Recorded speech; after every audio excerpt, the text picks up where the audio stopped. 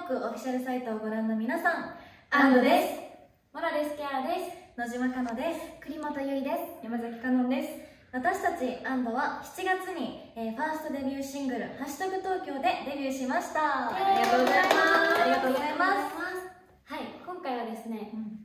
東海地区ということで、今度11月3日にぼ名古屋のボトムラインでですね、ライブをするんですけど、だから名古屋にうんうん行くんですけど、ね。まあ、リーダーの野島かのが野島かのがはい野島がですね、まあ、愛知出身ということで、たくさん美味しいものをおごってもらおうかなと思ってます。めっちゃ可愛く言うあそうねでもせっかく名古屋に来たんだったらもう名古屋名物をもうたらふく食べて帰ってほしいし私もちょっとそれに便乗したいのでもうお財布温めていきたいと思います。いし楽しみ。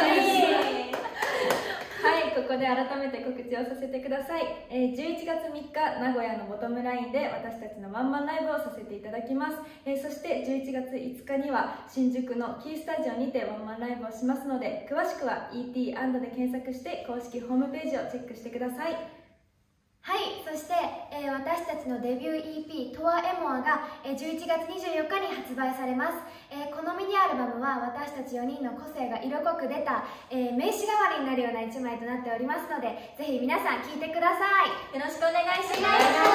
それでは皆さん長屋のライブもお待ちしています。以上アンでした。